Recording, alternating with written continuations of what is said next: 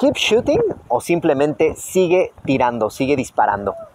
Como saben, últimamente he estado hablando mucho de resiliencia emocional, de fortaleza mental, de perseverar, de, lucha, ¿no? Y si hay una historia que me gusta para reflejar este potencial del ser humano, es la historia de Karoli Tatax. Karoli Tatax era un sargento del ejército de Hungría que en 1938 era el favorito no solamente para ganar el campeonato mundial de ese año de tiro deportivo, sino también en 1940 ganar la medalla de oro para su país en esta disciplina.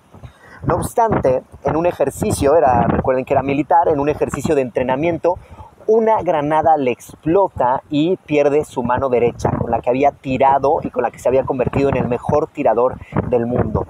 Carol y a partir de eso pasa un mes, un mes y medio deprimido eh, en el hospital, en su recuperación, eh, obviamente luchando contra, contra lo que había sucedido, el, ahora sí que dando a esta afronta, ¿no? O teniendo que vivir esta afronta eh, emocional y mental.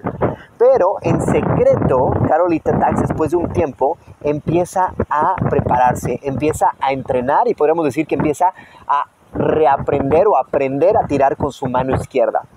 Total que unos meses después se presenta el campeonato mundial en 1938 todos sus compañeros y todos sus competidores, colegas, se sorprenden de verlo ahí, obviamente sin su mano derecha, y sorprendidos todavía más porque venía a competir. Y oh, gran sorpresa, Carol gana la medalla de oro en ese campeonato mundial y se vuelve a convertir en como el favorito para los Juegos Olímpicos. Pero este era el gran sueño de Caroli y en 1940 no se dan los Juegos Olímpicos, tampoco en el 44 porque se desata la Segunda Guerra Mundial y entonces este sueño de estar en lo más alto de un podio olímpico otra vez se ve frustrado para Caroli. Sigue adelante, sigue perseverando, sigue con su sueño y después, en 1948 en Londres, cuando se, vuelven a iniciar los Juegos Olímpicos, llega Caroline, ya de 37 años de edad, eh, sin muchas expectativas. De hecho, cuando él llegó a esa competencia decía que solamente venía a aprender, que quería intentarlo, estar en los Juegos Olímpicos. Y total que, sorpresa, sorpresa, gana la medalla de oro. Y no solamente eso, sí, ¿no? que cuatro años después refrenda su título en los siguientes Juegos Olímpicos.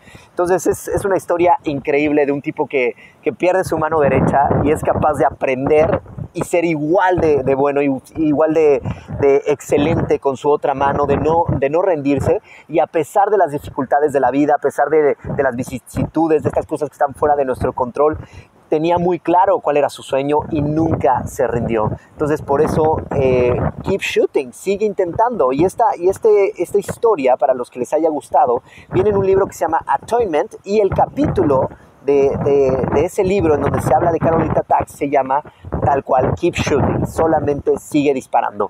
No, no detenernos a, pensar si va a ser posible, si se puede aprender a tirar con la otra mano, si va a volver a haber unos Juegos Olímpicos, si a los 37 años todavía es una buena... No detenernos a pensar nada, simplemente hacer las cosas, intentar hacer las cosas, seguir haciendo las cosas.